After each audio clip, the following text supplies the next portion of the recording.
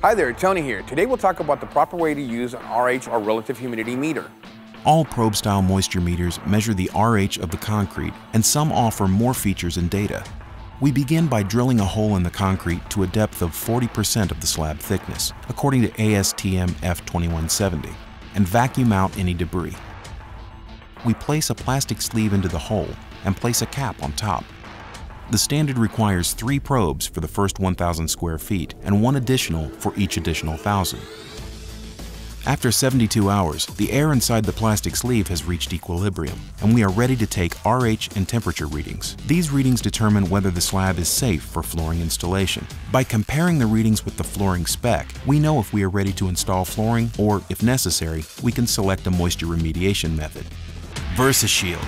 Install today, in business tomorrow.